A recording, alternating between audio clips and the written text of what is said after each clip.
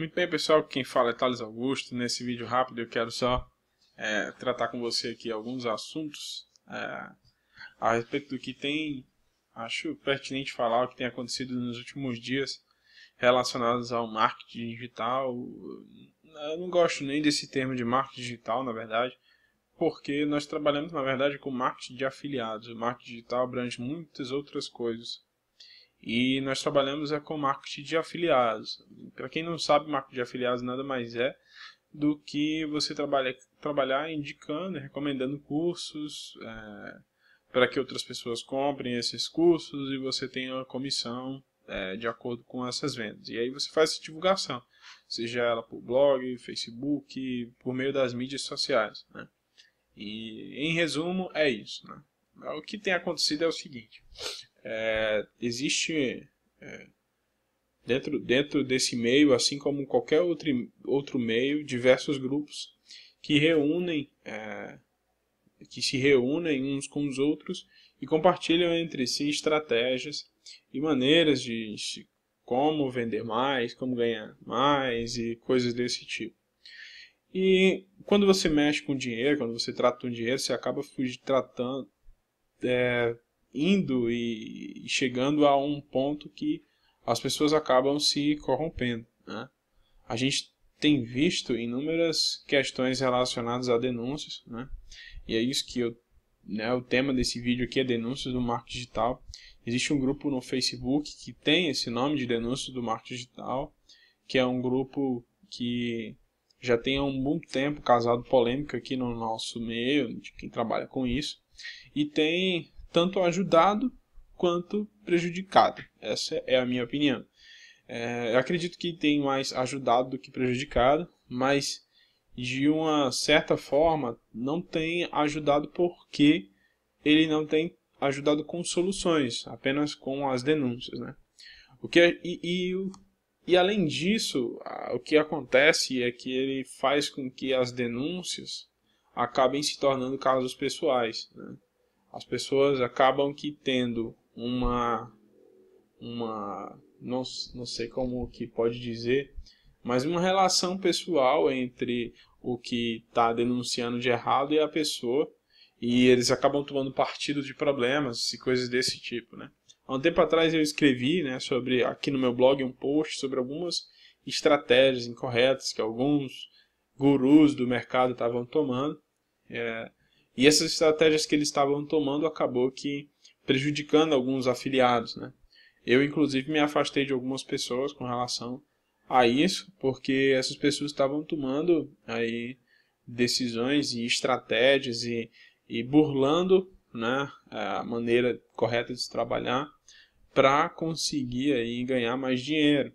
E eles acabavam roubando a grana dos afiliados. Um, um, quando uma pessoa que indicou corretamente, trabalhou corretamente, deveria receber a comissão, essa pessoa não recebia a comissão por causa de algumas práticas incorretas que eram feitas aqui dentro do dentro de dentro do marco digital. É, foi falado sobre isso. Uma das coisas é sobre iframe, é, entre outras coisas aí que podem ser utilizadas. Né? Mas o mais comum são iframes ocultos é, para utilização de marcação de cookie, né?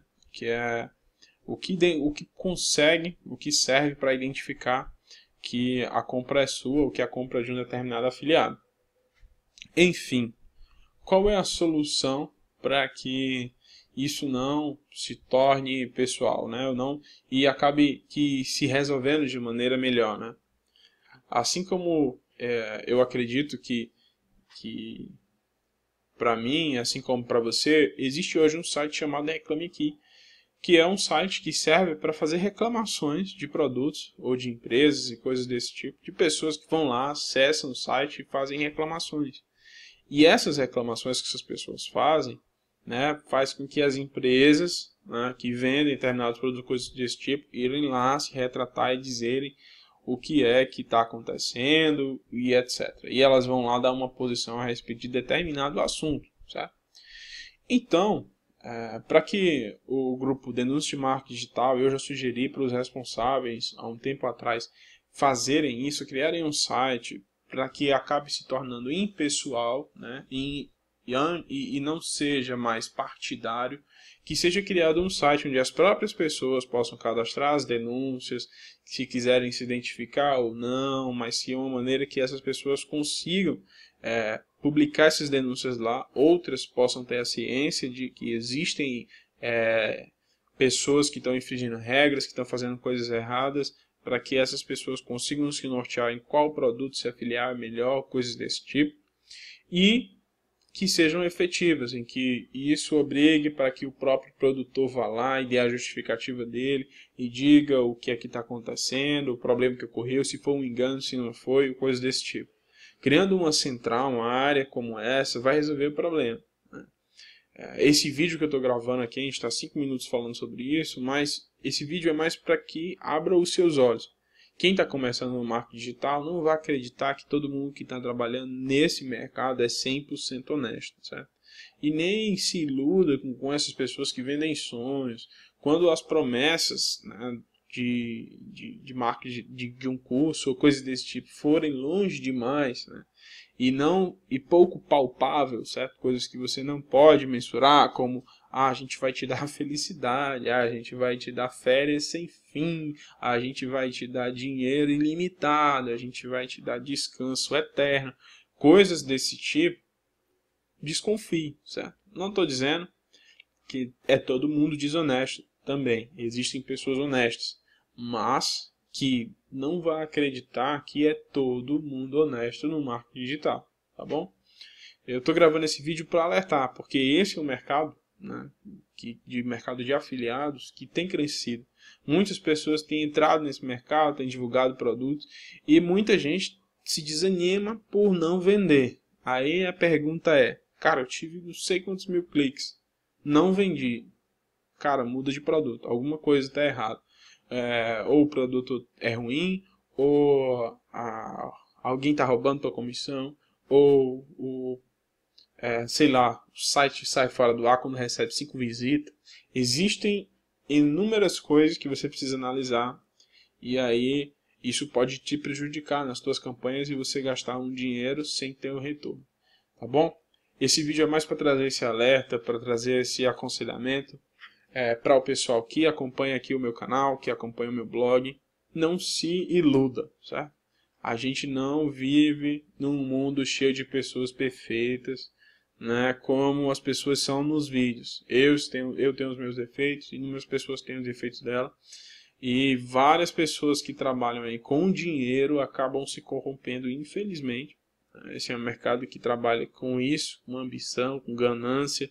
E quanto mais dinheiro, mais as pessoas querem dinheiro. Então, pense bem, analise, sempre verifique. Antes de promover um produto, verifique a página de vendas, confira se está tudo certinho, se o botão de vendas está ok. É, não, não, eu não aconselho você a promover um produto que tenha lá um chat, porque isso é muito arriscado do cara desviar tua comissão e vender direto pelo chat. É, eu não recomendo você vender é, produtos que é, de pessoas que já foram denunciadas, né? A gente pode dar uma nova chance, é claro, mas sempre vai ficar com o pé atrás de alguma pessoa que foi denunciada. Então procure saber quem são os gerentes de afiliado, procure saber as, as reputações dessas pessoas.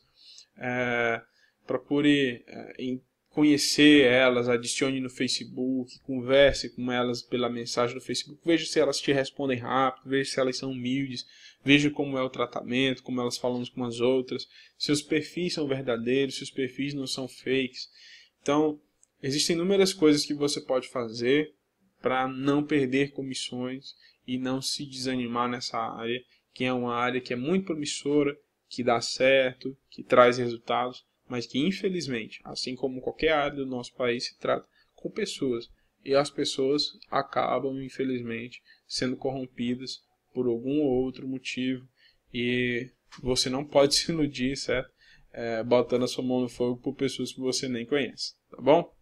É, eu vou ficando por aqui. Um forte abraço, espero que esse, você tenha gostado desse vídeo. Se gostou, deixa um like, compartilha. A gente vai, esse é o meu canal no YouTube. Né? Esse projeto é um dos meus projetos principais, que é o canal. A gente já passou de mais de 300 vídeos aqui. Eu tenho alguns cursos, que é o Blog E-Commerce, Blogueiro Iniciante, Universidade WordPress, entre outros aí. A gente tem uma página no Facebook, que é facebook.com.br negócios e dicas. Eu tenho um meu site com todos os meus cursos e videoaulas que estão no canal no YouTube e não estão no meu canal no YouTube com certificado, que é o curso Empresa Online. É uma assinatura de apenas R$ 47,90 que você tem acesso a todos os cursos durante o período de um ano, né? tem um baixo custo, aí, você paga com o PagSeguro aqui. É, e também né, os alunos que se escrevem, o curso tem direito à carteirinha de estudante, que a carteirinha de estudante é aquela meia cultural. Não serve para ônibus, é aquela carteirinha que serve para quem vai no cinema, no teatro, jogo de futebol, coisas desse tipo. Você consegue pagar meia entrada lá na maioria dos estados do nosso país. Tá bom? Eu vou ficando por aqui. Um forte abraço, fique com Deus e até a próxima.